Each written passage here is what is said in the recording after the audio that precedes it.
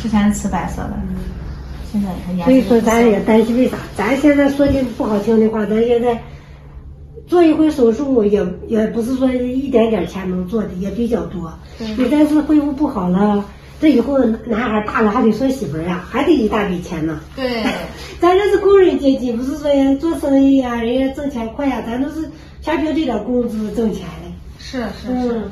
你看这多这么多年给娃看病也没少折腾，没少花。没少花钱，你也是今儿这一闹，光这一回你看，光这打针就这啊这一阵子就把几万块可可进去了，你看。嗯，所以我说咱得想好，你要弄个好方案，咱做了咱就好好的做。是嗯，要不好好做了，你看咱花钱花了，我说你以后这做了以后娶媳妇儿，我可没钱给你娶媳妇儿了。